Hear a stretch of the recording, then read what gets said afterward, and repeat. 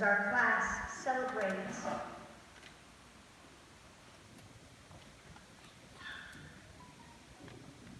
the completion of eighth grade and transition to high school as the class of 2022. Thank you to everyone who has come to celebrate this major milestone with us. We've risen occasion and met many challenges along the way. It hasn't always been easy, but we've persevered and grown because of it. Now it's time for this chapter to end and a new one to begin.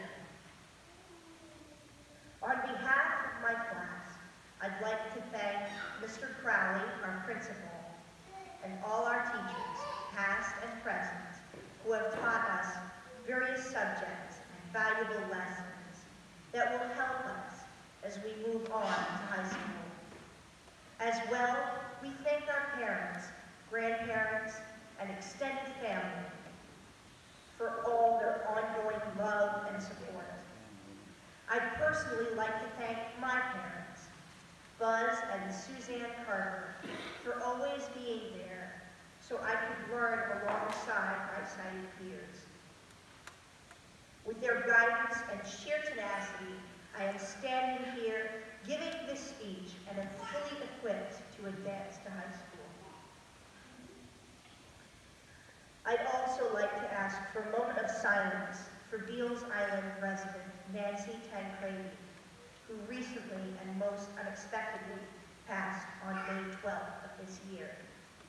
Nancy was a great woman who volunteered her time at Beals Elementary School to help students learn the art of writing. She was a great inspiration and friend to many of us. She helped me personally to become a better writer and person, and someone I would dearly miss.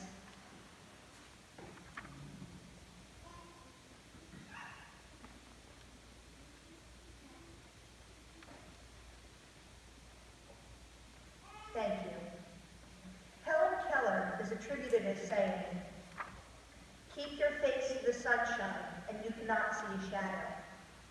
As we journey on to this new, exciting chapter of our lives, this quote seems very appropriate.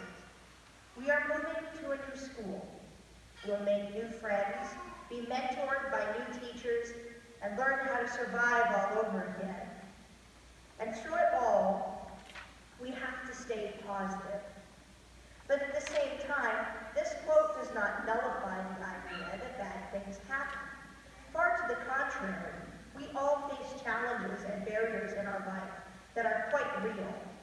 However, I believe that when Helen Keller made this statement, she was saying that no matter what you might encounter as a challenge, if you stay positive and keep your head up, you will eventually succeed, far more than you would otherwise. So let's keep this philosophy and enter high school with optimistic vision as the class of 2022. Thank you.